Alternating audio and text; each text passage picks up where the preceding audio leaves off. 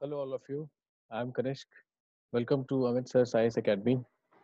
Uh, I want to discuss with you the recent Supreme Court judgment on uh, Jagannath Yatra. Supreme Court gave conditional permission to hold the centuries-old Lord Jagannath procession during these Corona times when the large gatherings are not allowed, and we all know, we all have witnessed in past the massive uh, crowd that comes in the Lord Jagannath uh, Yatra when this uh, Rath happens.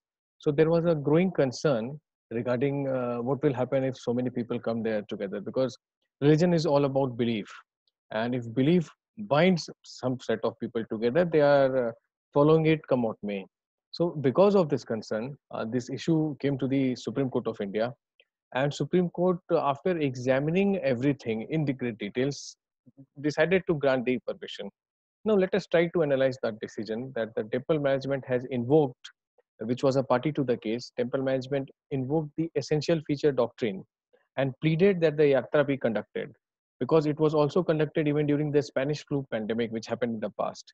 So the Supreme Court, the apex court, allowed the procession to take place, but then has left it over to the temple management and state authorities to manage the event and they have also been asked to ensure strict social distancing norms are being followed. So it's not like uh, supreme court has bowed down to the popular pressure. It has been given with uh, some conditionalities. So while maintaining strict norms can be tricky but uh, just to forego an ancient practice because of management issue now again that would involve uh, a violation of part 3 the cultural rights under Article 29 and right to religious freedom under Article 25 as enshrined in the Part 3 of the Indian Constitution under fundamental rights. So, you know, fundamental rights are sacrosanct.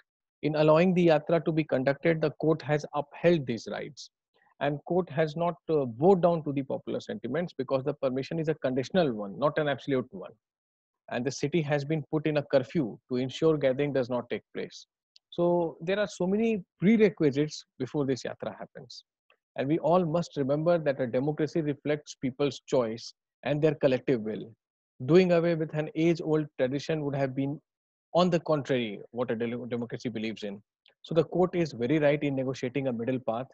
The pandemic is here to stay, as uh, most of the experts are telling us, the health experts. So we have to learn to live with it, at least for this year. That is my take on this issue.